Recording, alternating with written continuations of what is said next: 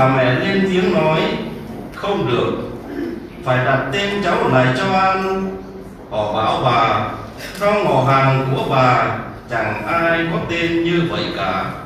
rồi họ làm hiểu hỏi người cha xem ông muốn đặt tên cho em là gì ông xin một tấm bảng nhỏ và viết tên cháu là cho Doan ai đấy đều bỡ ngỡ ngay lúc ấy miệng lòng ông lại mở ra ông nói được và chúc tụng thiên chúa láng giềng ai nấy đều kinh sợ và các sự việc ấy được rồn ra các miền chu đê ai nghe cũng để tâm suy nghĩ và tự hỏi đứa trẻ này rồi sẽ như thế nào đây và quả thật có bàn tay chúa phù hộ em đó là lời Chúa. Lời Chúa Kitô, lời khen Chúa.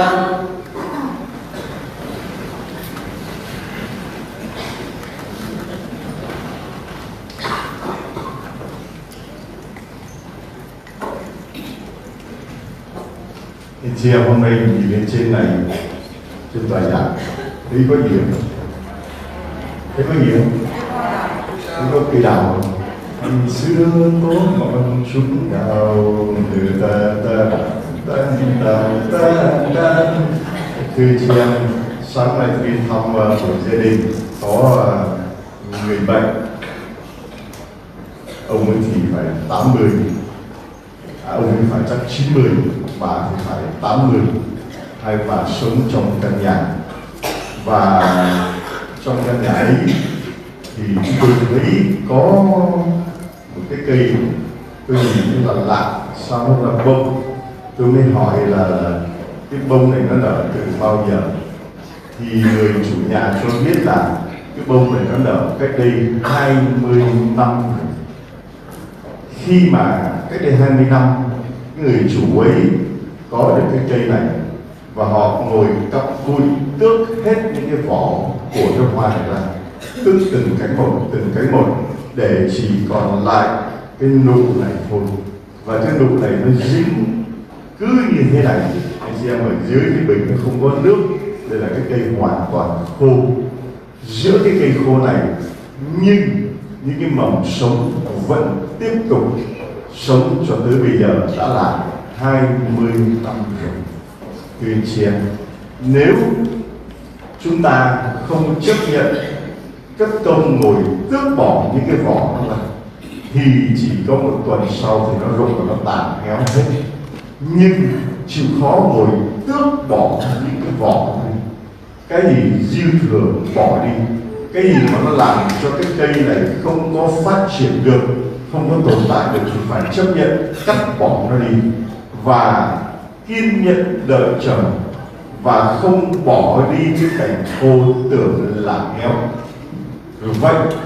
mà suốt 20 năm bông hoa vẫn cứ nở thưa anh chị em lời Chúa nói với chúng ta rằng là Chúa là đấng Chúa là đấng từ bi và nhân hậu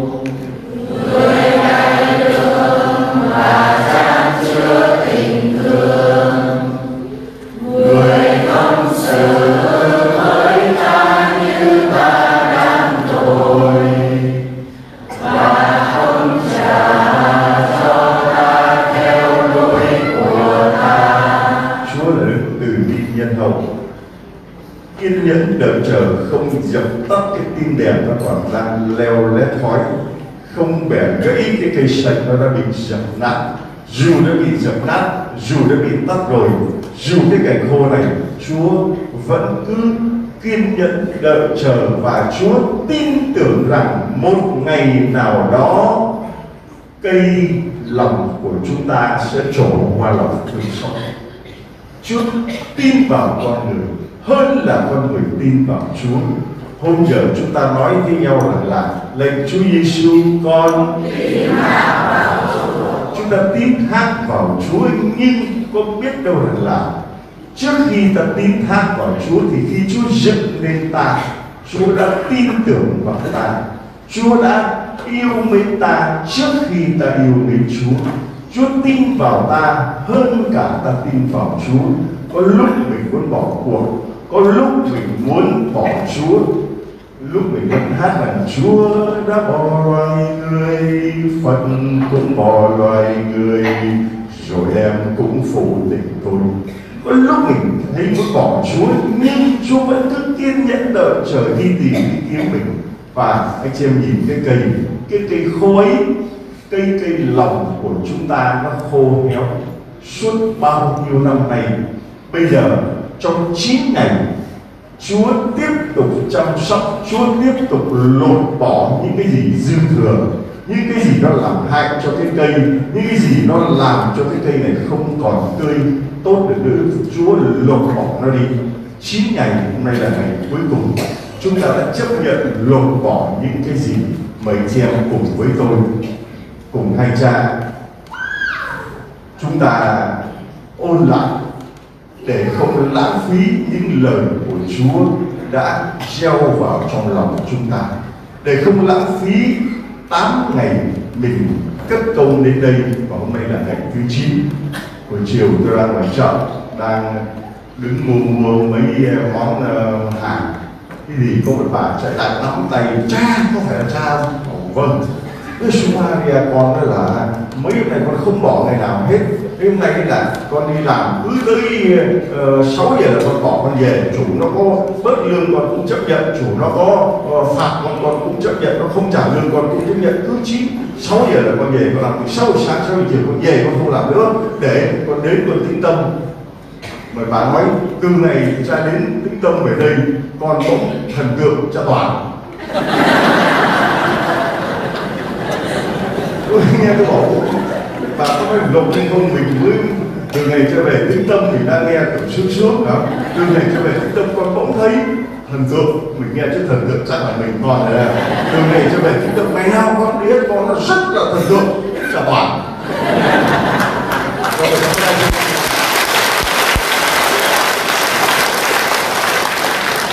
bà nói đúng thật với chị em bà nói đúng thật chứ không phải không vì nếu không có trà sở, nếu không có trà phó thì chắc chắn là chúng tôi cũng chẳng thể đến đây được. Cho nên bây giờ ba chúng tôi là ba chàng ngự lâm pháo thủ.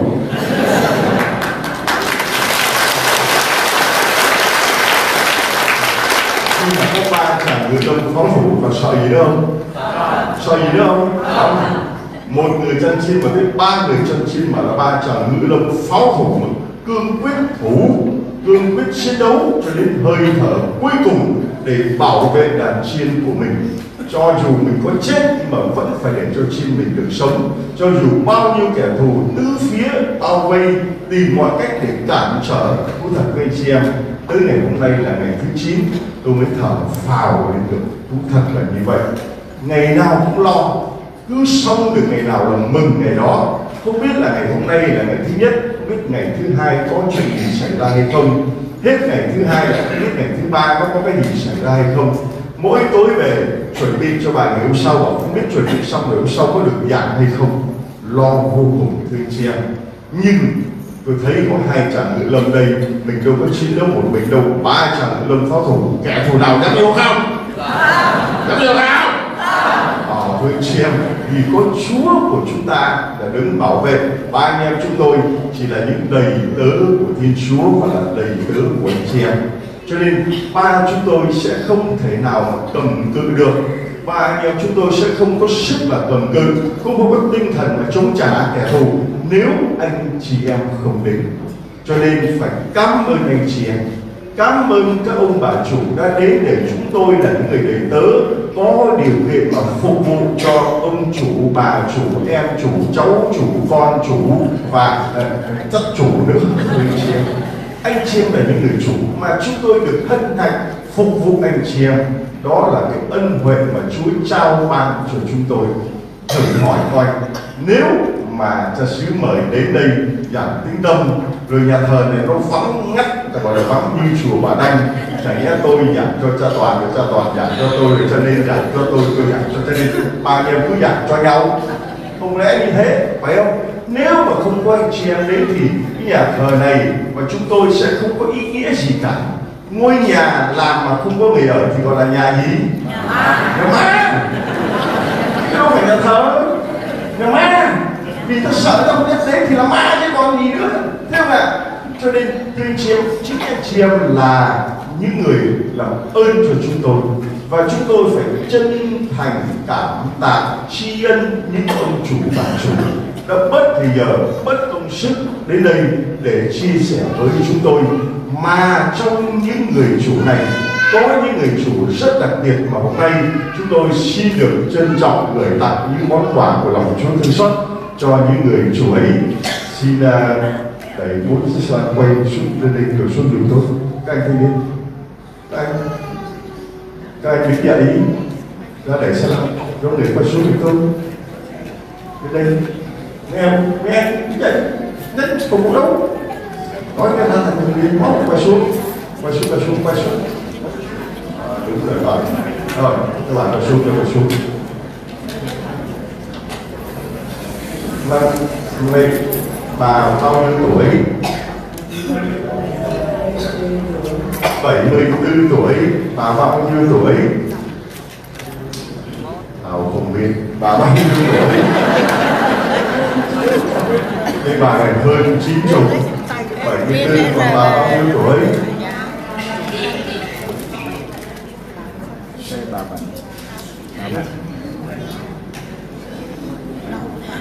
Ông bao nhiêu tuổi?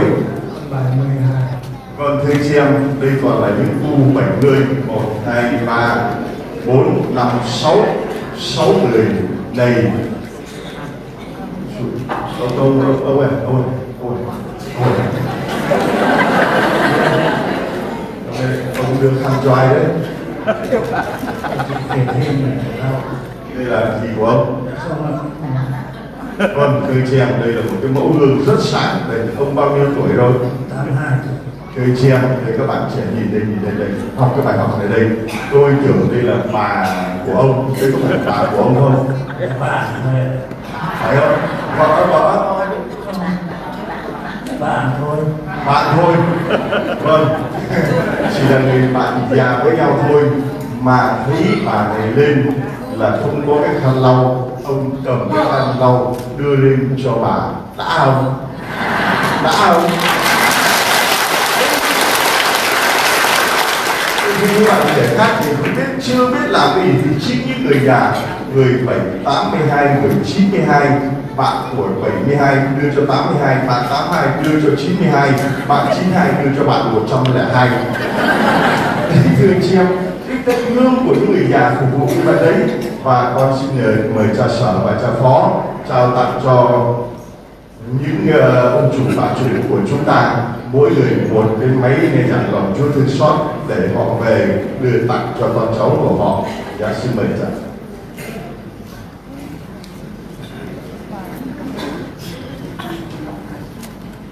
vui sướng thầy được làm con thiên chúa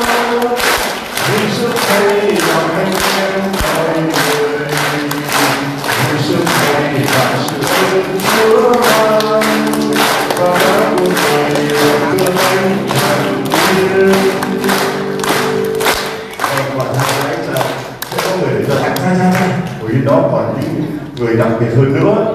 bây giờ chúng ta ngoài những người công giáo còn những anh chị em ngoại đạo anh chị em tôn giáo bạn xin mời ai là người ngoại đạo đây là tôn giáo bạn xin mời lên trên đây để chúng tôi tặng món quà của lòng Chúa thương xót. ai đề nghị đạo Phật cao đài hòa hảo của giáo phân xin mời em. Người trân trọng mời anh chị em lên đây xin mời cha tiếp tục gửi tặng những món quà của lòng Chúa thương xót cho đây là những cái quý đặc biệt của chúng ta hơn nữa. Anh chị lên đây.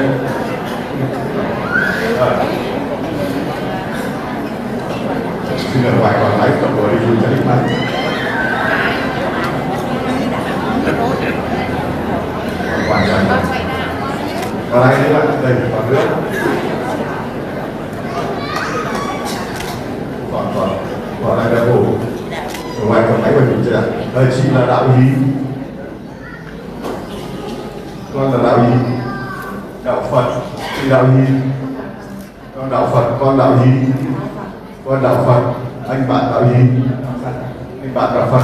Đạo Hí Đạo Phật Kênh dạ, Đạo phật Vâng, chị Đạo Hí Chị Đạo Phật, còn bạn Đạo Hí Vâng, chúng ta cho một tràng pháo tay thôi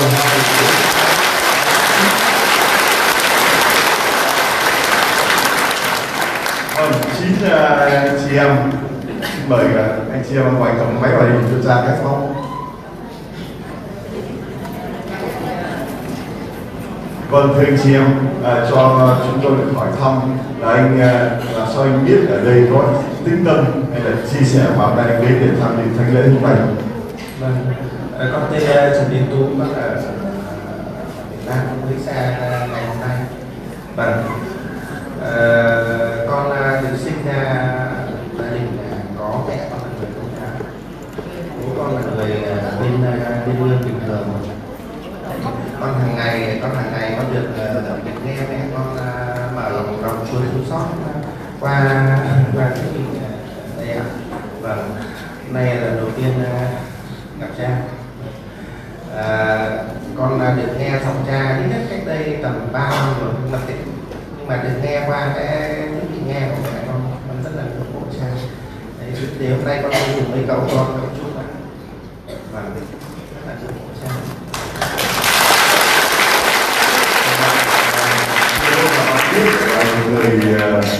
cùng các bạn à, hôm nay bạn đến với đạo công giáo chúng tôi và bạn tham dự buổi thức tâm bạn đến đây hôm nay là buổi đầu tiên hay là buổi thứ mấy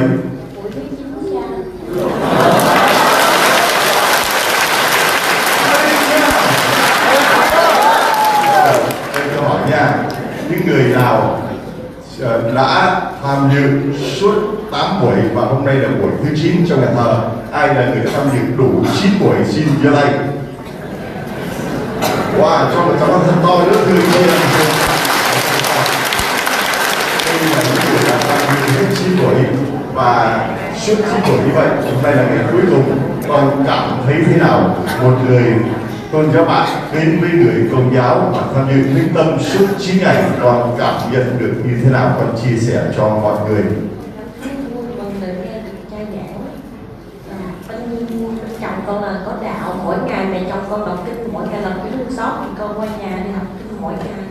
để con biết đến cha rồi con đi mỗi ngày mẹ chồng con nghe nghe cái cái cái máy của cha thì con nghe theo để con biết đến lòng chung xong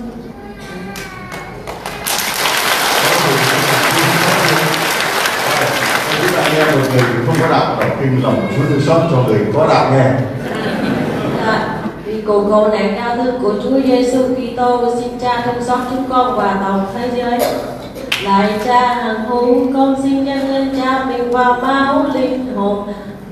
thần linh của con con chịu dấu cha là Đức Giêsu Kitô Chúa chúng con để đền vì tội lỗi chúng con và toàn thế giới.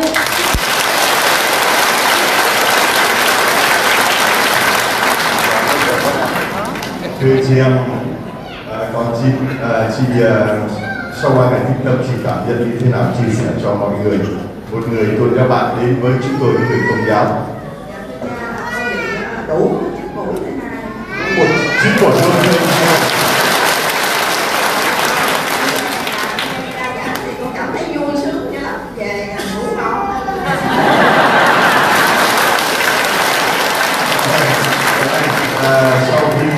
anh tham dự mấy buổi rồi ạ? Sao mới lần đầu tiên? Vâng, đây là lần đầu tiên và cái của ban đầu lưu luyến ấy ngàn năm cổ dễ mấy ai quên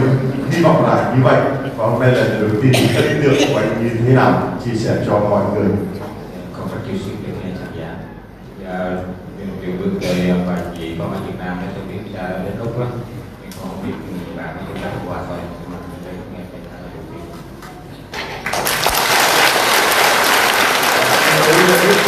Việt Nam và báo cho anh biết là chúng tôi đến lúc ngày hôm qua anh mới biết gì ngày hôm qua thế thì ngày qua thì hôm nay đã có mặt rồi thì anh chị em và người còn ờ, uh, bạn bạn thấy thế nào à, con, con, uh, có trang Facebook rồi. con mới nghèo dạ ờ, con mới nghèo người bạn nói về cha hôm nay con mới đi là mình đi dạ con thấy cái gì vui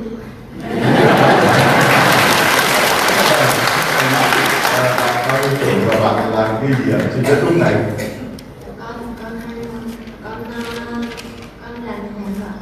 làm nhà hàng ai giới thiệu bạn đến đây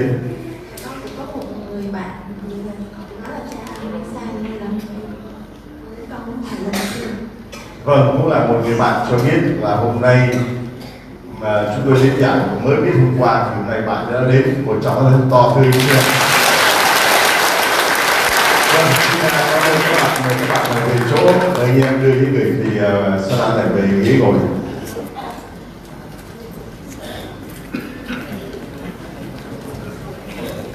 thì chị em chúng ta thấy hình ảnh quá tuyệt vời quá đẹp tìm đâu ra 9 ngày tĩnh tâm và những người ngoại đạo đến tham dự đủ chín ngày tĩnh tâm tìm đâu ra những người ngoại đạo mới nghe hôm trước là hôm sau đã ba chân bốn cẳng chạy đến để tham dự ngay những buổi tĩnh tâm tìm đâu ra những người 82, 92, 72 xe lăn lục hụ lên tâm thần giả ốm đau bệnh tật đến để tĩnh tâm để cầu nguyện cho con cháu có thể họ không nghe có thể họ không hiểu nhưng họ đã cùng tĩnh tâm bằng cách là họ cầu nguyện cho chúng tôi nếu không có lời cầu nguyện của anh chị em chúng tôi sẽ không biết nói cái gì cả nếu không có lời cầu nguyện của anh chị em chúng tôi sẽ chẳng có làm được cái gì hết không có ơn Chúa Thánh Thần qua lời cầu nguyện và sự hiện diện sự hiệp thông của anh chị em chúng tôi hoàn toàn là vô dụng chúng tôi hoàn toàn không thể làm được cái gì cảm ơn những anh chị em ở khắp nơi trên thế giới luôn hiệp thông với chúng tôi trong giờ đức tâm trong giờ cầu nguyện và trong giờ thánh lễ để cho những người không tham dự trọn vẹn đủ 9 ngày cái tâm Hôm nay chúng tôi xin phép được tóm gọn 8 ngày tinh tâm vừa qua bằng những vần thơ mỗi ngày là một bài thơ để cho anh chị em dễ nhớ, dễ hiểu và dễ đem là thực hành. Ngày đầu tiên chúng ta nói với nhau là hãy vui lên vui lên hỡi nhân trần đấng cứu độ muôn nhân khỏi tối tăm tội lỗi đã sắp đến nơi rồi vui lên hỡi con người niềm hân hoan bao đời ngày hồng ân cứu rỗi đã sắp đến nơi rồi vui lên khắp đất trời trái đất đầy xôn xao rạo rực ngàn vì sao chúa sắp đến nơi rồi vui lên toàn bờ cõi địa cầu đầy ân sủng Thiên Chúa đến đời cùng đã sắp đến nơi rồi. Vui lên và đổi mới, cõi lòng hãy thành thơi, niềm tin yêu rạng ngời, Chúa sắp đến nơi rồi. Tâm hồn là chiếc nôi ấm áp và thân tho, rộng sẵn để đón chờ, Chúa sắp đến nơi rồi. Xin dân chọn niềm vui trong lòng Chúa xót thương, hòa vang khúc nhạc mừng đón chờ Chúa sắp đến.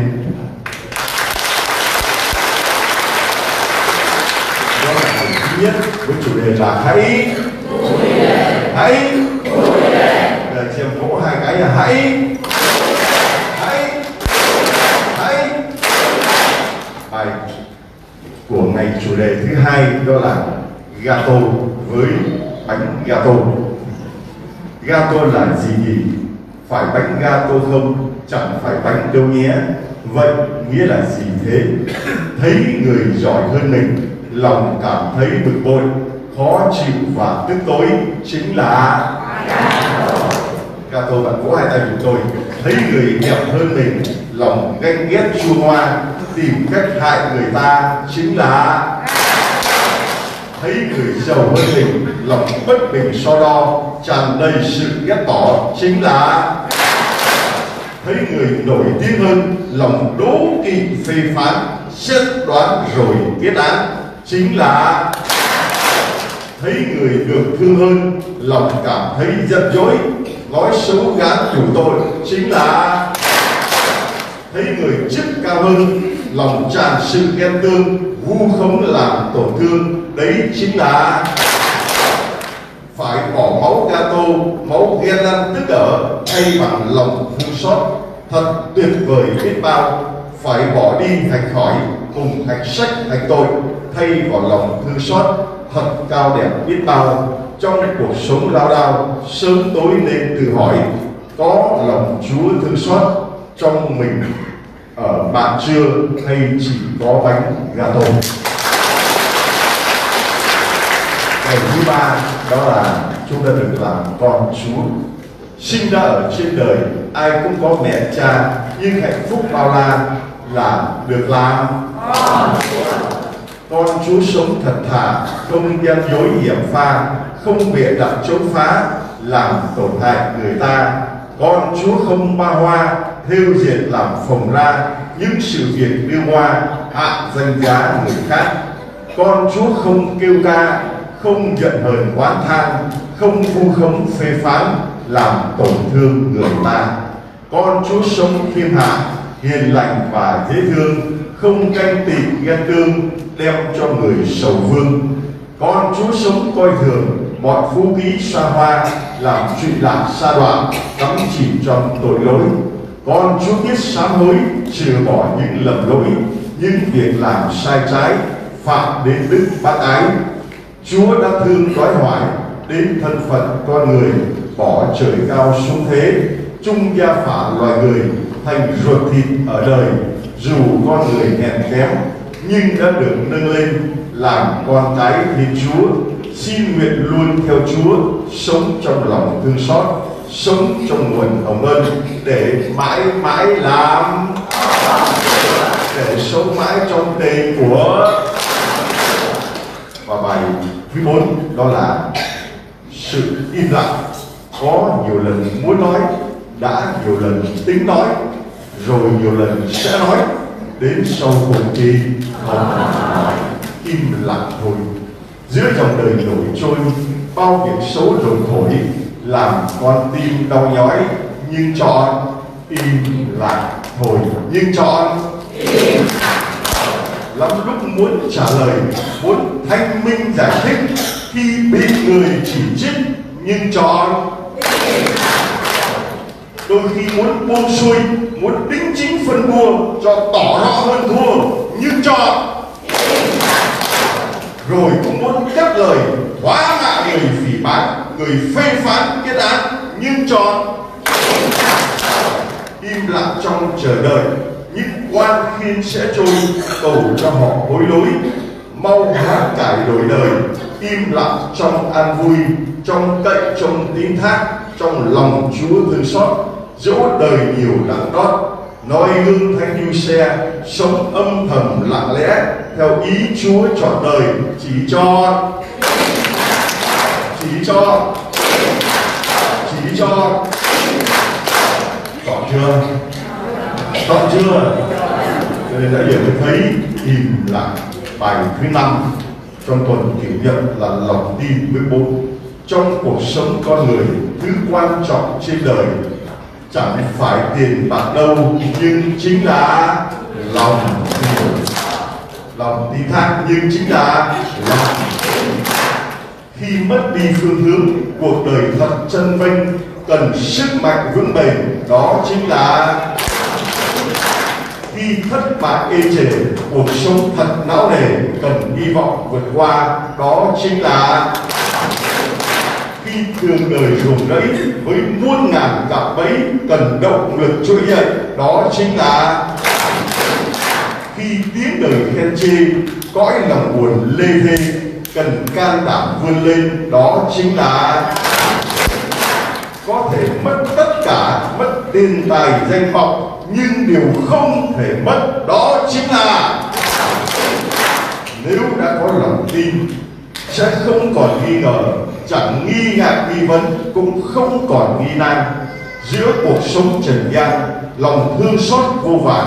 nhưng vì thiếu lòng tin đã đa nghi phê phán nguyện noi gương thanh nữ mà kỳ Magdalene luôn đặt chọn lòng tin vào lòng thương xót Chúa xin dối bước theo mẹ cao vang lời xin vâng trên mọi bước đường trần luôn sáng ngời sáng ngời luôn sáng ngời bài thứ sáu tên do và doanh nghiệp đời sẽ đẹp biết bao khi sống cùng với nhau không luật lệ gắt gao nhưng tôn trọng tự do nhưng tôn trọng nhưng tôn trọng kiếp người nhiều lắng lo với cơm áo bạc tiền cuộc sống sẽ an nhiên khi đời có buồn phiền lớn nhỏ sẽ nhẹ nhàng yên trôi hạnh phúc sẽ lên ngôi khi đời đó tình yêu như mở ngỏ lấp đầy những mộng mơ bao yêu thương mong chờ khi đời đó tự do là nhận rõ không ép buộc gán cho từ tình yêu đôi lứa đến tình yêu thiên chúa tự do yêu mến chúa sống lòng thương xót chúa không gương gạo thở lơ không mê muội hứng hở tự do đẹp như thơ nếu đừng sống hứng hở mà phải biết lựa chọn đúng đắn và kỹ càng lòng thương xót vô vàn luôn gọi người đáp trả bằng con tim sẵn sàng tự nguyện không nghi ngờ lòng thương xót vô bờ lòng yêu thương đóng chờ cho con đến nương nhờ trong lòng chúa xót thương đó là con có và đây là ngày hôm qua ngày thứ bảy ngày thứ, ngày thứ bảy còn ngày thứ tám nữa còn hai ngày nữa ngày hôm kia là ngày thứ bảy phải có lòng thương xót tín thác lòng thương xót Chúa là đây giữa cuộc sống bất vẩn trong hối hả kiếp bao lần bế tắc làm lối ra người anh em chỉ lối giúp về nhà phải có lòng thương xót Chúa là đây giữa cuộc sống quay cuồng trong thác loạn biết bao lần xoay vòng chẳng thoát ra người anh em kéo ra khỏi sa đoạn có phải ngọc thường xót chúa là đây giữa cuộc sống cô đơn bị ruồng bỏ biết bao lần chán ngán đầy oán hoang người anh em đã vỗ về ủi an có phải lòng thương xót chúa là đây giữa cuộc sống đầy dẫy tiếc thị phi biết bao lần đã buông xuôi nản trí người anh em cùng sát cánh phù trì có phải lòng thương xót chúa là đây giữa cuộc đời đầy bất công vu không biết bao lần đã tuyệt vọng cậy trông người anh em giúp thoát cảnh cùng gông có phải lòng thương xót chúa là đây có lòng thương xót là biết vui có lòng thương xót chúa là biết buồn để sẻ chia đồng cảm với tha nhân đem lại sự ấm áp cho thế trần có lòng thương xót chúa là biết tin để tin vào quyền năng sức mạnh chúa có lòng thương xót chúa là biết cậy để cậy trong tình yêu ân sủng chúa tiếng thác là có lòng thương xót chúa tiếng thác là sống lòng thương xót chúa tiếng thác để làm chứng lòng thương xót chúa tiếng thác để loan truyền lòng thương xót chúa và các bạn ơi ngày thứ bảy chúng ta tĩnh tâm về mỗi người hỏi với nhau rằng là sống lòng thương xót chúa là thế đấy tín thác lòng thương xót chúa là thế đấy bạn đã sống lòng thương xót chúa chưa bạn đã tín thác vào lòng thương xót Chúa trường. Nếu ai dám trả lời, mình phải tĩnh tâm, thinh lặng để tự tìm câu trả lời để qua ngày tạm 8 hôm qua chủ đề là được và không được trong cuộc sống mỗi người điều quan trọng trong đời là tự do lựa chọn được hay là khi nói lời giảm pha với bao điều xấu xa hạ danh giá người ta là được hay không được khi mang theo lời ca hòa cung đàn thiết tha làm vui vẻ gần xa là được hay không được khi vỗ tay ném đá trả lời mạnh nè được thì giơ tay cao mà không được thì vỗ hai tay nha không được là không được được thì được giơ tay lên nhá khi ném đá vỗ tay rồi học gậy bánh xe làm anh em nhục nhã là được hay không được khi ủy an người ta với tình mấy bao la xem nhau như một nhà là được hay không được nói rất được thì cho nó đều được là được hay không được rất được thì nó đã hơn khi sống trong xa hoa trong chuyện làm bê tha làm khổ cho mẹ cha là được hay không được cuộc sống mỗi ngày qua gieo yêu thương bác ái phục vụ không ngần ngại là được hay không được trong dòng đời hối hả tự do rất quý giá muốn nên tốt hay xấu lựa chọn bởi chính ta cuộc sống sẽ nở hoa hay héo úa tàn tạ quan trọng là lựa chọn cách sống cho hài hòa Chúa mời gọi chúng ta sống trong lòng thương xót để luôn biết nhận ra lúc nào là rất được và lúc nào là xin Chúa soi sáng để chúng ta nhận ra lúc nào là và lúc nào là theo Chúa là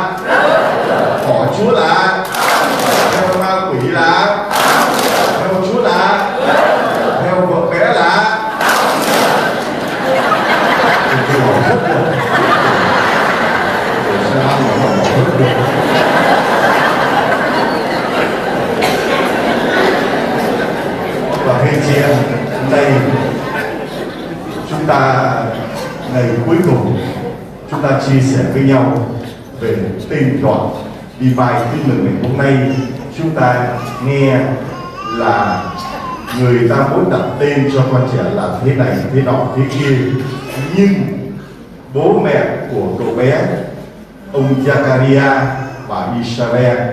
cương quyết đặt tên cho đứa con mà được mang thai trong lúc tuổi già đứa con được mang thai trong lúc mà hai ông bà bị bao nhiêu điều chê trách rồi bị sống trong nhục nhã Chúa tách nỗi nhục nó đi cho bà Isabel và Chúa cảnh báo với Zakaria và ngày hôm nay Zakaria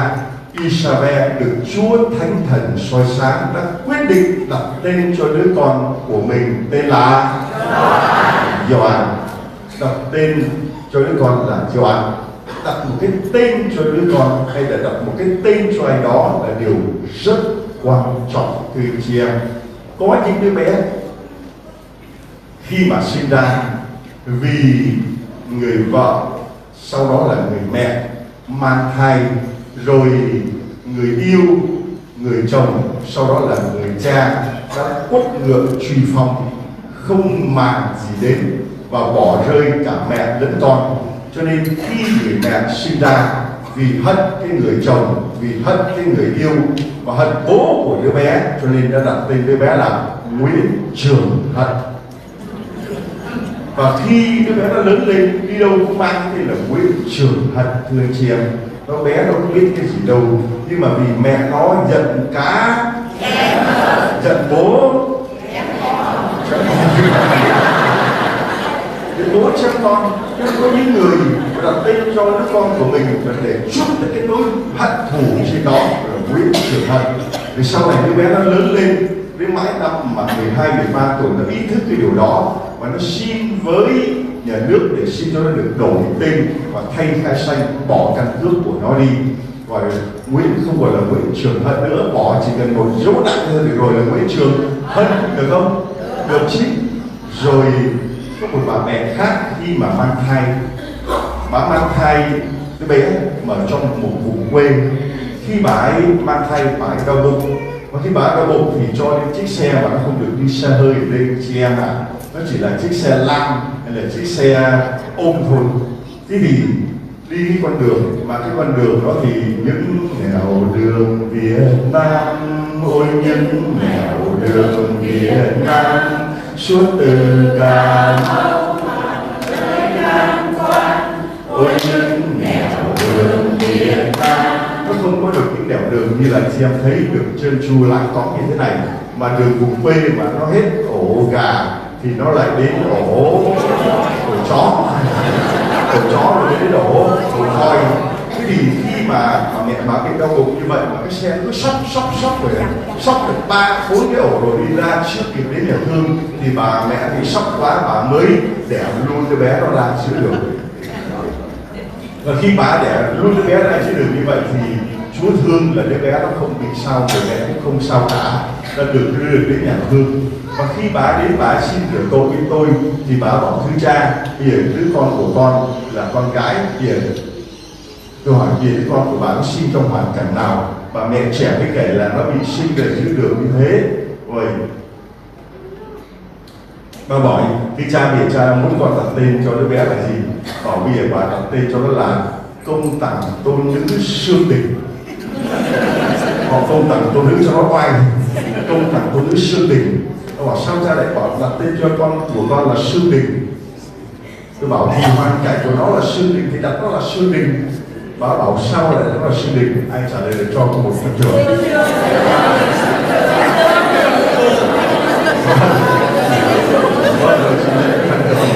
thưa chị em nó là sinh được vì nó sương đình nghe có vẻ hay có vẻ sương mù gì đó đình lại nhưng mà sương đình là sinh được đây tặng cái sự của rất là sương đình câu hỏi thứ hai đúng không chị? biết ra sở của anh chị em ông và cố để được bao nhiêu người con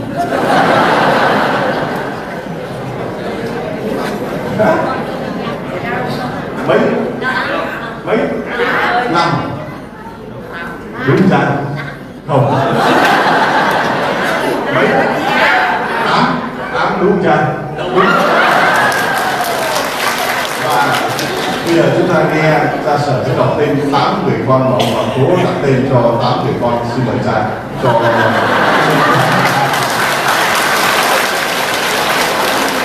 mời cha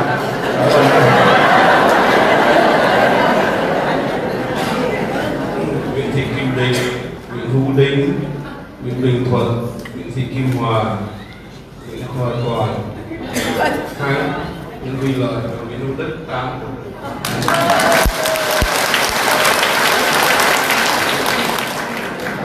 người chiêm dân nữ cả họ là tên của đường của tám người chiêm đó mà trong đó có bốn cái tên mà tôi thấy qua được cái chuyện với ngài phòng tra coi nhiều cái con còn cố sơi hết rồi toàn thắng lợi đức toàn ra toàn thắng lợi đức bao nhiêu cái ngon cái tốt sơ hết rồi còn thắng thì còn ai mà thường là mà có giờ thua bao nhiêu cái lợi sơ hết bao nhiêu cái đức sơ hết toàn thắng lợi đức thì chị mỗi người chúng ta khi được sinh ra cha mẹ đặt tên cho mình thì xin anh chị em cũng nhớ là khi đặt tên cho đứa con thì hãy suy nghĩ và cầu nguyện cẩn thận để đặt tên cho đứa con của mình đừng có nguyễn trường thân mà hãy là toàn thắng lợi đức từ anh chị em không chạy cứu thoát được mình đặt tất cả cái hy vọng vào đứa con của mình và cầu xin ân sủng của Thiên Chúa xuống trên đứa con của mình là một đứa con hoàn toàn là một đứa con là uh, toàn thắng là một đứa con toàn lợi một đứa con toàn đức còn uh, đứa con toàn gì nữa sự là toàn tiên cái này có cái tiền cái này có cá đầu tiên khi chị em ngày hôm nay chúng ta tĩnh tâm để con người hỏi vậy thì tôi đố anh chị em bố mẹ tôi đặt tên của tôi là gì hả được có phải để cho phân khỏi đi đây mới ông nãy ông bảo là gì đó có bài bỏ thì vẫn là là, là, là đúng đây ông cho tôi biết bố mẹ tôi đặt tên cho tôi là gì Đình Đồng Vâng, xin chị em trong buổi trạm có tay Trần Thị Vâng, tôi chính nhảy là long là rồng Và rồng thì phải có nước thì mới vẫy vùng lên được Rồng thì phải gặp sóng gió thì mới là rồng Rồng mà không gặp sóng gió thì chỉ là cái con rắn mà thôi Rắn bò sát với mặt đất Còn rồng thì phải gặp sóng gió phải gặp bão táp gặp phong ba gặp thử thách cho nên bắt phong trần phải phong trần cho thanh cao mới được phần thanh cao đã mang cái tên loan rồi thì đành phải chấp nhận là loan đầu lận lận đã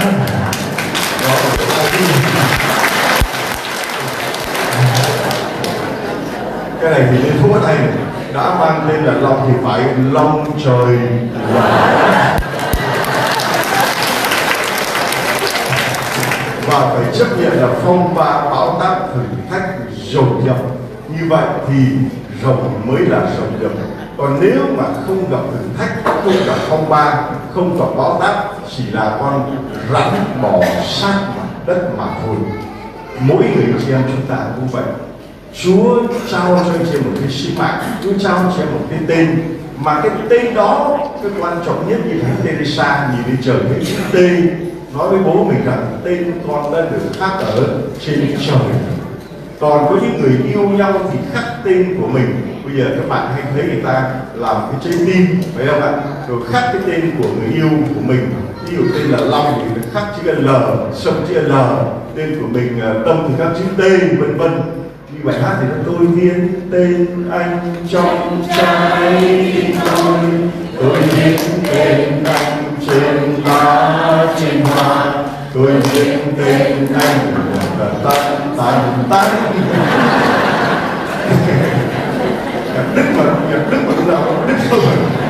thì thương treo Chúa đã viết tên của mỗi người chúng ta vào trong trái tim của Chúa rồi trái tim mà chị đang cầm trên tay mỗi người anh chị em ơi hãy nhớ rằng là Chúa đã khắc tên của anh chị em vào trong trái tim Chúa rồi cho các bài hát mà Chúa hay hát để giáo điểm tin mừng cho con một chỗ ở trong trái tim của Chúa mỗi người chúng ta có một chỗ ở trong trái tim Chúa tên của anh chị em đã được khắc ở trong trái tim của Chúa cho nên ta mới được gọi là con Chúa cho nên là con của Chúa thì ta luôn sống trong vui mừng là con của Chúa thì chúng ta không quan bánh gà đồ là con của Chúa thì chúng ta không có ghen tị, ghen tức, ghen tuông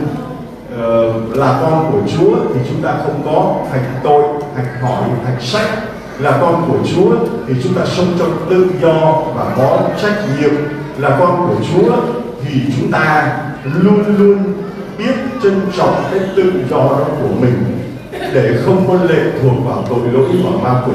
là con của Chúa thì người chị em chúng ta biết điều nào nên làm điều nào không nên làm để Chúa nói với chúng ta là được đó còn hoặc là không được đâu còn và là con của Chúa thì chúng ta phải chấp nhận bước đi trong con đường tối tăm mịt mù con đường đi thác là con đường thập giá mời à, chị em cùng với chúng tôi kết thúc uh, ờ, chưa kết thúc nhưng mà cùng nhau hát cái bài hát con đường thập giá bài hát này chúng tôi vẫn hát mỗi ngày thứ sáu tuần thánh khi mà phát thập giá chúa đi trong ngày thứ sáu tuần thánh và hôm nay tôi được tra sĩ của anh chị em cho biết tác giả của bài hát đó là linh mục nhạc sĩ Phan Chi một người rất nổi tiếng một người tài cao đức trọng một người mà tôi ngưỡng mộ ngưỡng phục một người mà tôi coi như là người thầy, người cha và người anh của mình. Hôm nay xin phép và ờ, nhạc sĩ Lý Bục Văn Chi cho chúng tôi được hát bài hát Con đường thập giá. Đó là con đường của lòng thương xót Chúa. Chúng ta kết thúc trí này này, chúng ta thấy được rằng là mình chấp nhận hy sinh, chấp nhận thiệt thòi, chấp nhận mất mát, không nghe tình, không nghe tức, không hành hỏi, không hành sách là mình đang đi vào con đường Học giả dạ. là mình đang đi vào con đường và đi vào con đường lòng thương xót Chúa là đi vào con đường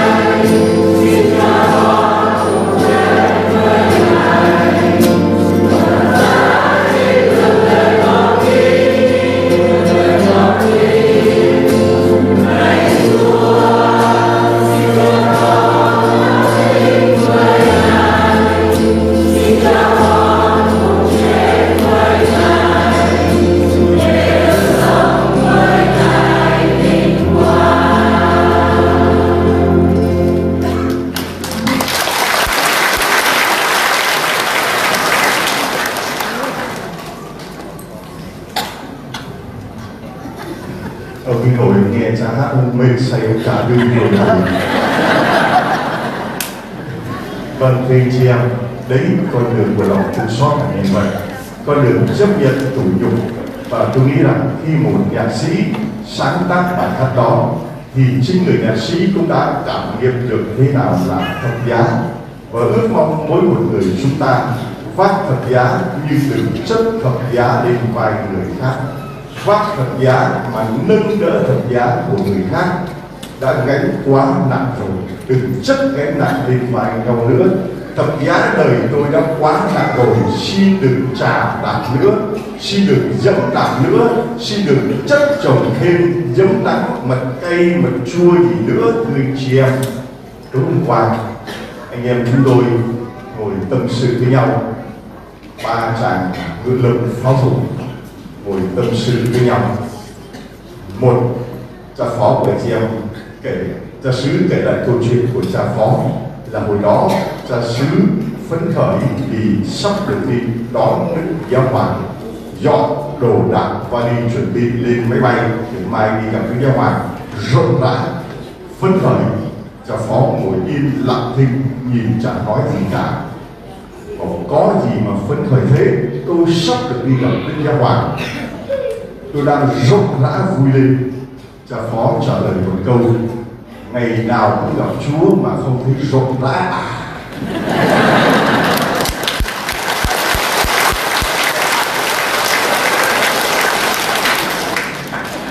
sau đó, cha sứ vỗ vai tôi, nói với tôi rằng là, cha Long à,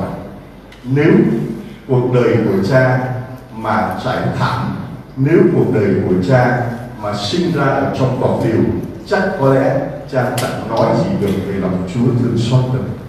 Nếu cha ở nhà đầu xa hơi nếu cha sung mọc sướng nếu cha đến đâu cũng được người ta ca tụng và được các đấng các bậc hoan hô có lẽ cha chẳng nói gì được về lòng chúa thương xót đâu nhưng cha nói được về lòng chúa thương xót là nhờ dấm chua mật đắng cái chất đắng cái chất cay tiết ra nhưng mà tôi xin mở ngoặc là thưa cha con không còn mật nữa vì túi mật của con đã cắt từ năm năm nay rồi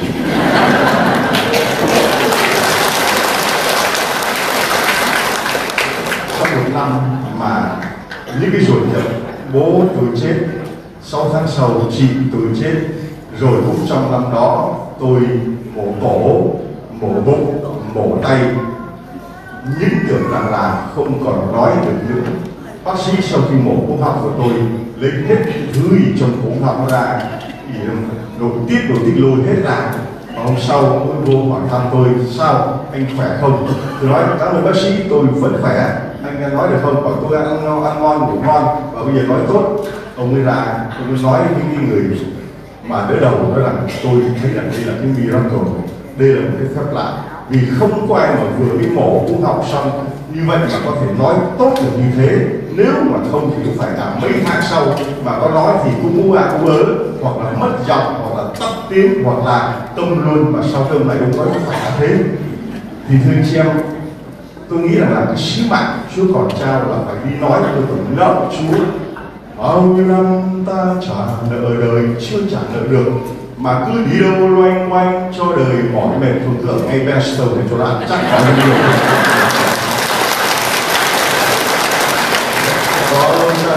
đó thì cứ nói nói những gì lúc về được không được không chưa đến không đến không còn có người ấy thì có người nói